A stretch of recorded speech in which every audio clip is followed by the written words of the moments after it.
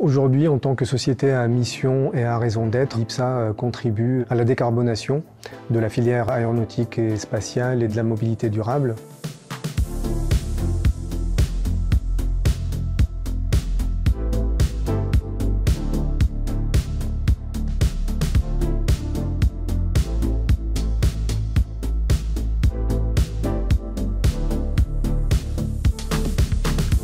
En mécanique, nous allons nous intéresser aux matériaux pour l'allègement des structures, des aéronefs et des fusées. En astrophysique, nous allons nous intéresser par exemple aux astéroïdes potentiellement dangereux pour la Terre. Les enseignants-chercheurs à Toulouse font des activités sur l'énergie, la thermodynamique, la mécanique des fluides, le traitement des signaux et l'intelligence artificielle.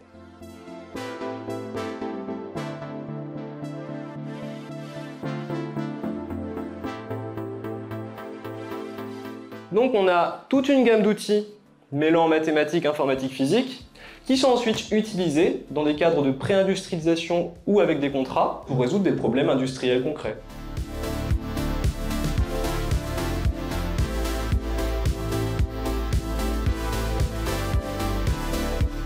Des enseignants-chercheurs de l'IPSA et leurs collaborateurs y présentent euh, des activités de recherche actuelles et nous faisons intervenir au moins un intervenant extérieur sur un sujet d'actualité. Par exemple, cette année, c'est le CNES qui intervient.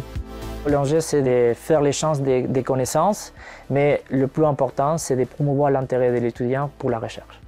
Alors, je vais vous parler de responsabilité sociétale de l'entreprise. L'objectif, c'est d'apporter un peu de, de vertu dans nos activités.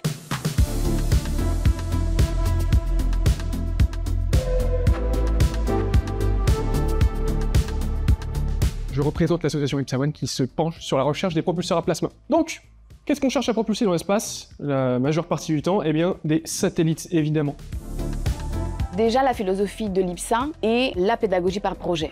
Les projets étudiants, lorsqu'ils sont aboutis, lorsque euh, on arrive à avoir des résultats concrets, on les encourage à faire ce premier pas vers la recherche. Certains peuvent éventuellement aboutir à des publications de brevets. Donc l'idée, c'est de les guider, de pouvoir trouver pourquoi pas des mentors, enseignants-chercheurs ou juste enseignants, qui puissent guider ces projets et aider les étudiants à pouvoir se développer.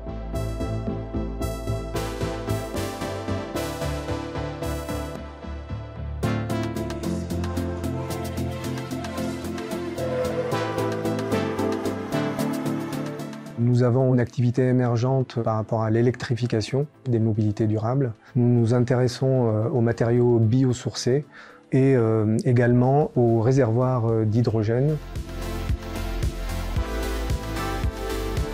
Ce qui me passionne, ce sont les défis et challenges qui restent à relever dans le cadre de la décarbonation des filières aéronautiques et spatiales. Ce qui est passionnant, c'est le contact direct avec les étudiants. Transmettre cette passion est très important et euh, j'aime beaucoup ça. On voit qu'on peut semer une petite graine.